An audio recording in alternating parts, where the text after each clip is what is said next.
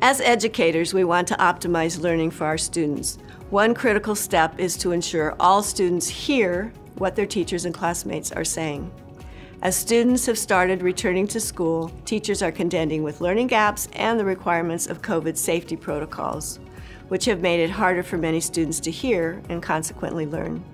Federal funding may be available to help remedy this issue, and more information can be found at the link below. Listening in classrooms can be difficult. Do you know that studies show that most classrooms do not meet acoustical standards? Adding masks muffle speech, and most masks also eliminate the visual cues that help with speech understanding. CDC guidelines for distancing further impact hearing because speech gets softer the further away you are from the speaker. By spreading students farther apart, they will have a harder time hearing their teacher and their classmates.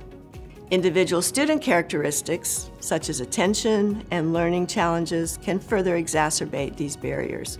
And the more barriers present, the greater the detrimental impact, which may significantly affect comprehension, behavior, and ultimately academic achievement.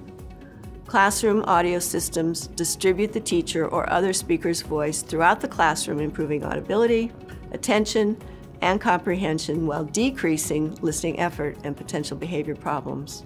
Let's listen to what it sounds like in a typical classroom with low-level background noise with and without the Rogers Soundfield system. In these clips, the teacher is wearing a cloth mask and the student is seated about six feet away in the second row. In the first clip, you'll hear the teacher's voice without the audio system. Geography is sort of the study of places and the human and environment interaction within those places. From this distance, with a mask, students have to use more effort to listen and are likely to miss parts of what the teacher is saying. The next clip demonstrates what it sounds like when a Rogers Soundfield system is added. Geography is sort of the study of places and the human and environment interaction within those places. Now the teacher's voice is much easier to hear even at a distance and with a mask. So to close the COVID learning gap, we need students to fully participate in instruction, including hearing their teacher's voice and the voices of their peers.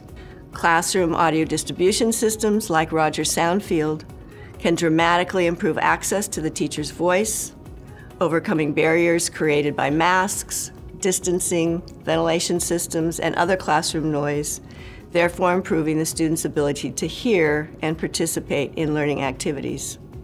Not only is this beneficial for the students, but it also reduces vocal effort for teachers throughout the day. For more information on the Rogers Soundfield system and to listen to classroom audio simulations, visit the Phonak website.